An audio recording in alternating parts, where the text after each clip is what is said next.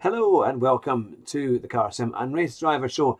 I happened to look through some of my old Facebook posts and videos and I happened to find this video that came up today which is of Michael Schumacher heading round the Jerez circuit in testing back in 2011 and I thought how appropriate it would be as we're just about to do testing in 2020 and of course poor old Michael after his accident has never quite recovered. But we continue to wish him and pray that he'd have a speedy recovery and he would make a full recovery.